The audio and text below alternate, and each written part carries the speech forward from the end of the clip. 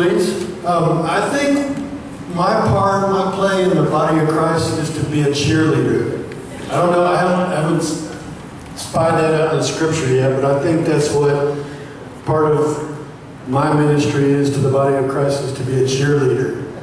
You know, I, I, a real quick story. I used to embarrass my kids at their sporting events. I was one of the dads that would be running up and down on the sidelines. Come on, you guys can do it. You know, everybody else is sitting down, and I'm running up and down. So I love the Lord. I love this house. I love this people. Uh, y'all say this with me. The devil has no power. The devil has no power.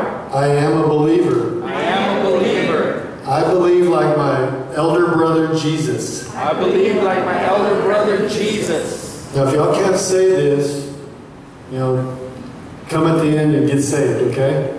All right. Or get saved now. I fix my eyes on things above, not below. Fix my eyes on things above, not below. I am God's child. I am God's child. He loves me. He loves me. Because He loves me, I freely and willfully give Him my whole heart. Because he loves me, I willfully and cheerfully give him my whole heart. I am saved, healed, delivered. I am saved, healed, delivered. I seek God's wisdom. I seek God's wisdom. Nothing can hurt me. Nothing can hurt me. Tonight I have come expecting God's best. Tonight I have come expecting God's best. Wealth and riches are in my house. Wealth and riches are in my house. I have come on purpose I have come on purpose tonight tonight to plant myself to plant myself in the good ground In the good ground of God of God. At AFC. at AFC. Okay, y'all can sit down. If you need an envelope, raise your hand. The usher has an envelope for you if you haven't got them already. You know, brother, that's one, brother Ricky, that's probably one of my favorite scriptures of all time. Because it helps you make a decision and knowing that you're making a decision that produces something from God. It's God's hand giving it. You know, if you seek Him with your whole heart. But it's a matter of the heart. Everything is a matter of your heart, a matter of your decision. You must make room for God to speak to you and fill you. By making room, you are making time for Him. You must decrease, He must increase. Your daily devotion, your daily purpose here in this life, the daily moments and actions that you set aside for Him is where God downloads His wisdom to you. Your job is the practice field. I love sports, any kind of sport or arena or playground. You know, started on the playground.